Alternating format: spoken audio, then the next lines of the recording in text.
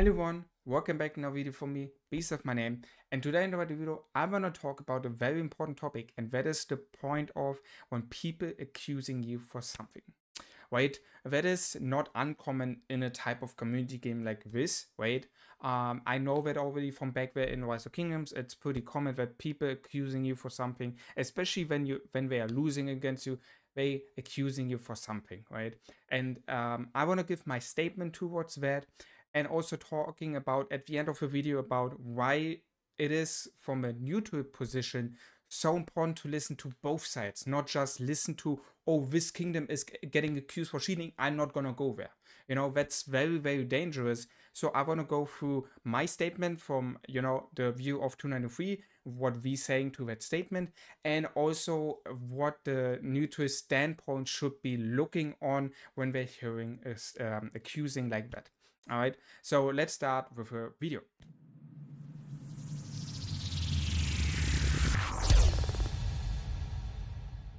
Alright guys, you may have heard of it already.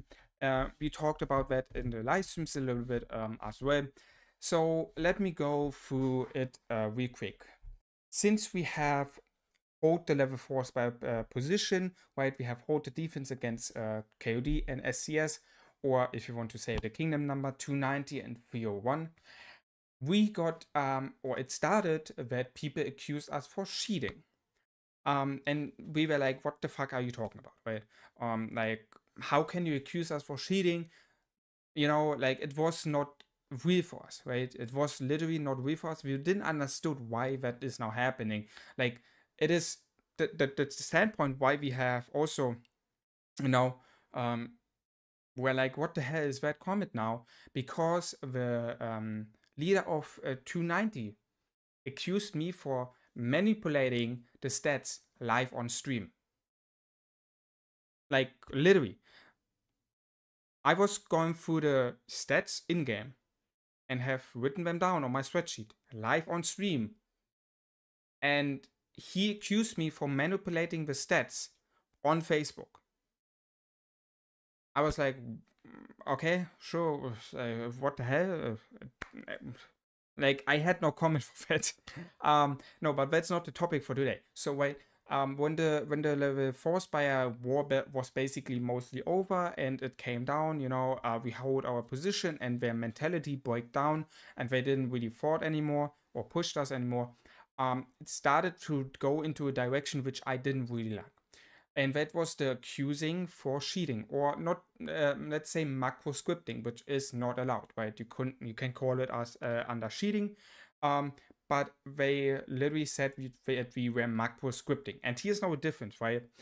Between macro scripting and macro management macro management management is basically everything what you do outside of your account. So alliances strategies buildings like all of these things what you're doing in the game um, is macro uh, management, right? Macro scripting now is basically you using multiple accounts at the same time in the same moment with the same command. That is basically macro scripting. Um, and they accused us for that because of the points. So what they said was like that an infantry got attacked by 30 marches when he won into us with like when we had like 100 marches or um, when they like city hopped and we like targeted them instantly on when they jumped out of the city. Like all of these things right um that were like the points what they have accused us for. There was like literally diff uh, many different points what they used to accuse us for cheating. Um, but we always said we're not cheating, we are just active. Like when it comes down to down, if we're winning the season or not, 293 is showing the fucking asses off, right? And that's what we did this season again. We slacked on in uh, zone 2, um, right? And that what we said, we, we did mistakes, we didn't show off really, um, like we could you, uh, used to do and uh, we didn't like accuse them for like you know the map is shit or something like that. No we said we packed up um, you won gd that's what we did. And when zone 3 opened and when we fought there right? Um it was like pretty you know ridiculous to us that you know we were pretty um like being um being a sportman um and you know, showing off and saying GG and stuff like that. And um, also when we had the stage of fighting, we always said GG after that in the in the chat. You know, and when they using this type of you know um, accusing shit against us when they lost or like when they couldn't push us off from the level four spire, it was like you know it was not. It was like why why are you doing that right? When you literally can see on my stream when that we having an individual movement and I giving the callers out. Like when we have like our top numbers are like 70, 80, 90 uh, members in the VC. So yes, if I'm calling out that we attacking that infantry march, you getting attacked immediately by 30 marches because people listen. It's not uncommon, right? Um, and I said it multiple times already in the streams. Imagine these players would be in my current uh, season on my main. They would be like accusing everyone for cheating, if that is the case, you know? And on top of that, I know that they have um, reported that to the uh, to the devs, to the support, and of course they didn't find anything. Of course, and from that point on, when they said, okay, fine, they said they didn't find anything. Um, you know, we're not cheating. When they said, okay, you know, we we taking it back, we are cool now, and stuff like that. But it's it's crazy that you know um, that you accusing us for something we're doing when you literally can see once again on stream the individual movement by everyone. And we also saying that no one is cheating. And i by myself said in the word chat that i hate cheating. It's it's in my opinion a form of you know weaknesses when you cheat in the game. Like you can be bad in the game no problem at all. But for that you have to to improve yourself you know. And if you cheat in the game then you're not improving yourself. And i find it a form of weaknesses um sorry weakness and um i'm totally 100% against weakness and uh, against cheating and um the devs also showed in the past, either be it in Rise of Kingdoms or now also in Call of Dragons, that they're banning people for cheating. It's not uncommon. They're doing that, you know? Um, so it was pretty pretty weird to us that they're using this type of accusing.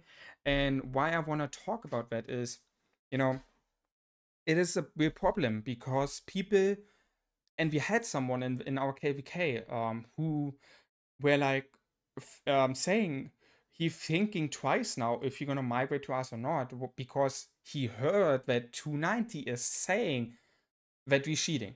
You know, it's not like that we had a proof. It's not like that we had a proof that someone who's doing it. He just have heard that 290 is accusing us for cheating. And that made him think twice about migrating to 293.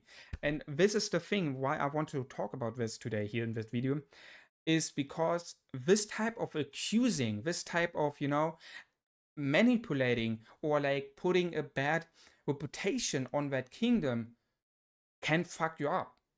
And I, in both ways you know? You can of course damage the view of the of the kingdom you uh, accusing them for something which they're not doing but also your reputation is going pretty well down when people then finally realize that you're talking shit and just lying around.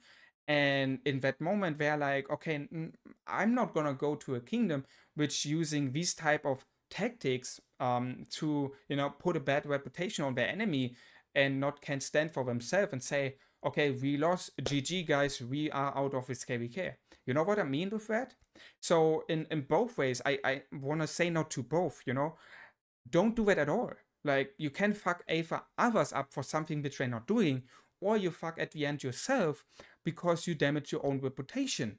So in both ways, it is not good. It is literally not good, right? So I don't understand why people at the end overall doing it.